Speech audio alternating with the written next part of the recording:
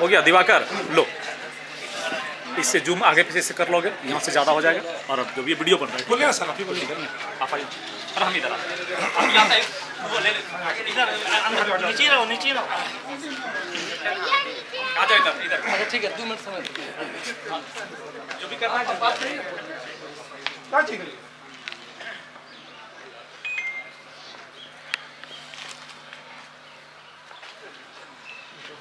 मेरे सभी रेल कर्मचारी भाइयों, पिछला महीना जो मार्च पार हुआ, हम रेल भोजोडी के रेल कर्मचारी परिवार के ऊपर बहुत ही दुखद गुजरा। जैसा कि आप सभी जानते हैं कि दो मार्च को हम लोग का एक सहकर्मी जितेन बावरी, जो इस सिरसा का सदस्य भी था और ऑपरेट आज शायद वो होते तो आज हम लोग जो ऑपरेटिंग का साथ मैच खेले ऑपरेटिंग में निश्चित रूप से वो खेलते। और काफ़ी लंबा समय उन्होंने भोजोडी को इस ग्राउंड को दिया।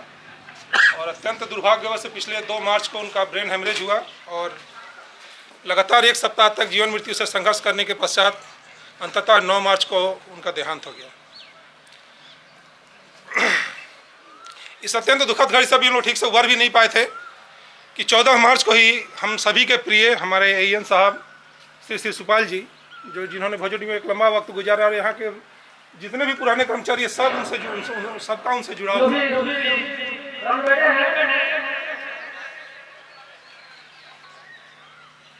उनका अचानक एक रोड एक्सीडेंट में चौदह मार्च को सर और उनकी पत्नी दोनों दोनों का देहांत हो गया, बच्चे बुरी तरह से जख्मी हो गए। तो ये ये जो दो दुखद घटनाएँ हैं, इन्होंने मार्च को अत्यंत तकलीफ़, तेज से गुजारा। प्रत्येक भोजोडी का प्रत्येक रेल कर्मचारी द्रवित और दुखित था। इसी वजह से इस बार ज़्यादातर रेल कर्मचारी होली तक न मना पाए। और चूँकि एन होने के नाते वो सिरसा के प्रेसिडेंट भी थे, इसलिए मुझे लगा सिरसा की कमेटी को लगा कि एक बहुत ही उचित मौका होगा उन्हें अपने, हम सभी रेल कर्मचारी परिवार की तरफ़ से श्रद्धांजलि देने का, उनको याद करने का और दो मिनट मौन रख के हम भगवान से प्रार्थना करें कि उनकी आत्मा को भगवान अपने अपने श्री चरणों में स्थान दें।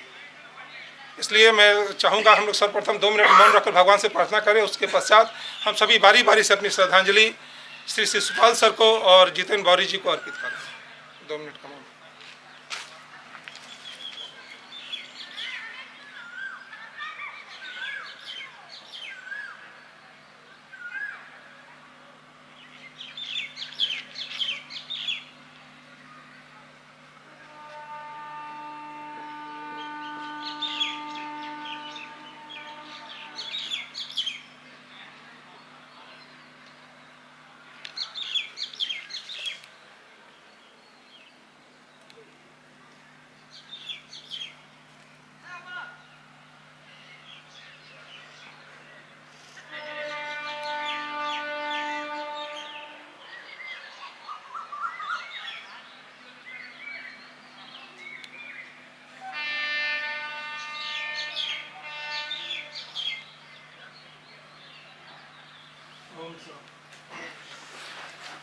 इसके पश्चात मैं यहाँ उपस्थित माननीय संजय बाबू से नागवानी जी से झा जी से अनुरोध करूँगा पहले आकर सर को श्रद्धांजलि अर्पित करें।